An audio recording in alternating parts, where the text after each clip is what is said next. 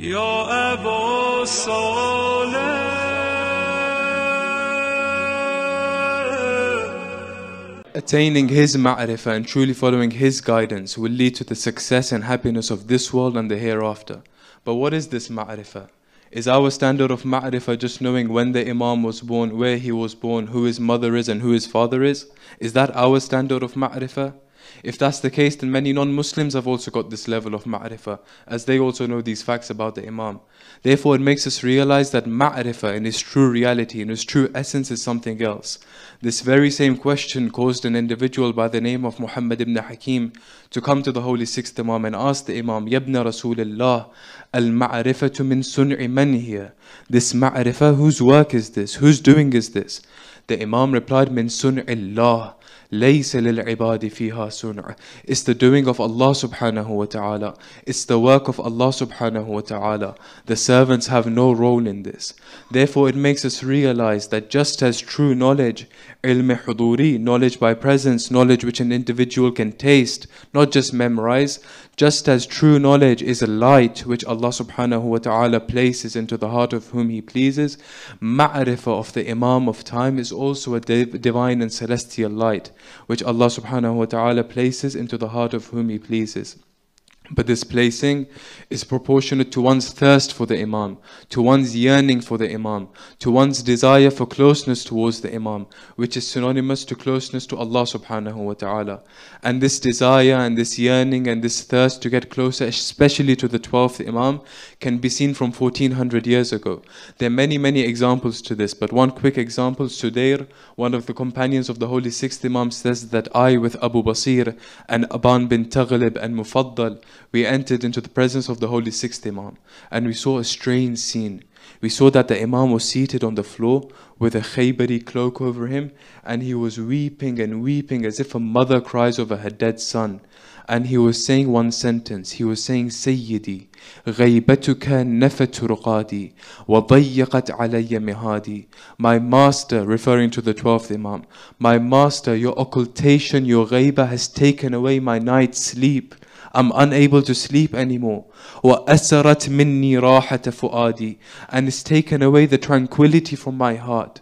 So Sudair says we were shocked at this. We asked the Imam, Yabna Rasulullah, is everything okay? Has someone died? The Imam replied saying, No, I had just seen the book of Jafar, the book of Ali ibn Abi Talib, and in that book I saw the period of the 12th Imam's occultation and how confused and bewildered the mu'mineen will become during that time. And I was crying over that time. Yet an individual like myself who is living in the time of the 12th Imam, I'm heedless of my responsibilities and duties. Therefore, a person needs to work on themselves actively and not only when the 15th of Sha'ban is nearby. Often, what happens when the 15th of Sha'ban is nearby, our attention and our tawajjuh towards the Imam of time increases slightly, and then all of a sudden it just dips. But my belief is this that when the first of Muharram is nearby, our attention and our tawajjuh towards the Imam of time should increase by more than 10 times compared to, the, compared to any other days. Why? Because although there's a deep connection between every single member of the Ahlul Bayt, the connection between Abu Abdullah and Imam Zaman stands out exceptionally. There are many, many examples to this. Uh, but one quick example is this that is narrated that when the Imam is finally given the permission to reappear, he will stand by the Kaaba between the Rukn and the Maqam with his back facing the Kaaba and he will give out a call. Every single individual will hear this call in their own language without any medium. Now, this is that individual who the Bible speaks about, the Quran speaks about. Every single Imam has spoken about him before. He himself has been awaiting for more than a thousand years. The whole universe is in a state of intidar for him existentially. When he's finally given the permission to reappear, and now the opportunity to introduce himself. How does he introduce himself? He will say according to the hadith, ألا يا أهل العالم إن جدي الحسين قتل عطشانا O people of this world, my grandfather Hussein was killed whilst he was thirsty. ألا يا أهل العالم إن جدي الحسين سحقوه عدوانا O people of this world, my grandfather Hussein was overwhelmed with animosity. He introduces himself through Abu Abdullah. Why? Because Abu Abdullah is the perfect example, the perfect role model for any individual who wishes to bring about divine justice. There are many, many more examples, but because of, because of time, we can't discuss every single one of them. But one of them, which will link it to the practical aspect of our discussion, is this that the companions of both Imams are extremely great and devoted in terms of ma'rifah, love, obedience, worship, truthfulness, sincerity, bravery, istiqamat, steadfastness. In actual fact, the companions of Abu Abdullah on the day of Ashur are the teachers of the companions of Imam Zaman during the period of the Dhuhr.